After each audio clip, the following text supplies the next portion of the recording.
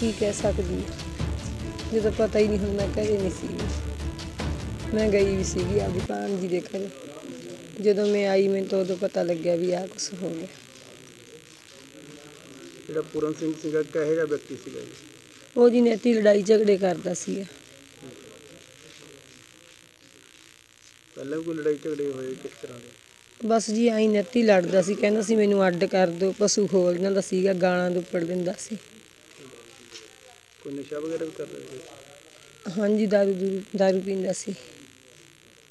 ਪਤਾ ਕੀ ਲੱਗਿਆ ਤੁਹਾਨੂੰ ਵੀ ਜਿਹੜੀ ਘਟਨਾ ਹੋਈ ਹੈ?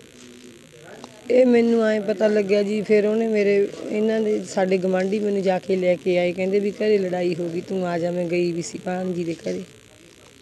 ਬਾਅਦ ਚੋਂ ਲੜਿਆ ਮੇਰੇ ਘਰ ਵਾਲੀ ਨਾਲ ਪਸ਼ੂ ਖੋਲੇ ਉਹਨੇ। ਕਿਵੇਂ ਕਤਲ ਕੀਤਾ ਜੀ? ਕਤਲ ਫਿਰ ਜੀ ਉਹਨੇ ਕਹਿੰਦੇ ਜਿਹੜਾ ਪੇਚਕਸ ਸੀਗਾ ਵੀ ਸੰਗਲ ਚ ਪਾਇਆ ਹੋਇਆ ਸੀ, ਉਹ ਕੱਢ ਕੇ ਉਹਦੇ ਮਾਰਿਆ ਜਦੋਂ ਉਹਨੇ। ਤੇ ਫਿਰ ਉਹਦਾ ਬੋਲਿਆ ਤਾਂ ਗਿਆ ਹੀ ਨਹੀਂ, ਕਹਿੰਦਾ ਮੇਰਾ ਬੇਟਾ ਕਹਿੰਦਾ ਵੀ ਉਹਦਾ ਇੱਕੋ ਹੀ ਬੋਲ ਨਿਕਲਿਆ, ਉਹ ਕਹਿੰਦਾ ਵੀ ਮੈਂ ਗਿਆ। ਉਹ ਬੇਟਾ ਮੇਰਾ ਪਸ਼ੂ ਬੰਨਦਾ ਸੀ, ਉਹਦਾ ਡੈਡੀ ਕੋਲੇ ਆ ਗਿਆ। ਕਹਿੰਦਾ ਵੀ ਮੈਂ ਬੰਨਦਾ ਨਾ, ਉਹ ਬੰਨੀ ਜਾਂਦਾ ਸੀਗਾ। ਇੱਕ ਤਾਂ ਉਹਨੇ ਮੱਝ ਬੰਨਤੀ, ਜਿਹੜੀ ਗਾਂ ਰਹਿੰਦੀ ਸੀ ਬੰਨਣ ਵਾਲੀ, ਉਹ ਖੁੱਲੀ ਫਿਰਦੀ ਸੀ, ਉਹਦਾ ਡੈਡੀ ਬੰਨਣ ਲੱਗਿਆ। ਉਹਨੇ ਸੰਗਲ ਚ ਪੇਚਕਸ ਕੱਢ ਕੇ ਉਹਦੇ ਡੈਡੀ ਦੇ ਮਾਰ ਮੰਗ ਕੀ ਕਰਦੇ ਆ ਪੁਲਿਸ ਪ੍ਰਸ਼ਾਸਨ ਸਰਕਾਰ? ਮੈਂ ਤਾਂ ਹੁਣ ਆਈ ਮੰਗ ਕਰੂੰ ਜੀ ਜਦੋਂ ਮੇਰੇ ਘਰ ਵਾਲੇ ਦਾ ਕਤਲ ਹੀ ਹੋ ਗਿਆ ਵੀ ਉਹਨੂੰ ਸਜ਼ਾ ਹੀ ਮਿਲਣੀ ਚਾਹੀਦੀ ਹੈ ਜਦੋਂ ਮੇਰੇ ਕਤਲ ਹੀ ਕਰਤਾ ਉਹਨੇ। ਮੇਰਾ ਕੋਈ ਸੰਬੰਧ ਨਹੀਂ ਹੈ ਜੀ ਬੰਦੇ ਨਾਲ ਰਾਤ ਸਾਡੇ ਕੋਲ ਸਵਾ ਕੁ ਬਾਰਾਂ ਕਾਲ ਆਈ ਹੈ ਇੱਥੋਂ ਸਰਪੰਚ ਦੀ ਵੀ ਵੀਰ ਸਿੰਘ ਹੈ ਪੁੱਤਰ ਗੁਰਨਾਮ ਗੁਰਨਾਮ ਸਿੰਘ ਦਾ। ਉਹਦੇ ਘਰੇ ਉਹਦੇ ਬ੍ਰਦਰ ਨੇ ਪੂਰਨ ਸਿੰਘ ਹੈ। ਉਹਦੇ ਆਪ ਝਗੜਾ ਹੋ ਕੇ ਕੋਈ ਪੇਚਕਸ ਸੁਨਮਾ ਚੀਜ਼ ਨਾਲ ਉਹਦਾ ਸੱਟ ਵੱਜੀ ਹੈ। ਅਸੀਂ ਮੌਕੇ ਤੇ ਰਾਤ ਟੀਮ ਆ ਗਈ ਸੀ। ਜਦੋਂ ਮੌਕੇ ਤੇ ਦੇਖਿਆ ਤਾਂ ਇਹ ਡੈੱਡ ਹੋ ਚੁੱਕਾ ਸੀ। ਅਸੀਂ ਡੈੱਡ ਬੋਡੀ ਸਿਵਲ ਹਸਪਤਾਲ ਬਰਨਾਲਾ ਸ਼ਿਫਟ ਕਰਤੀ ਹੈ।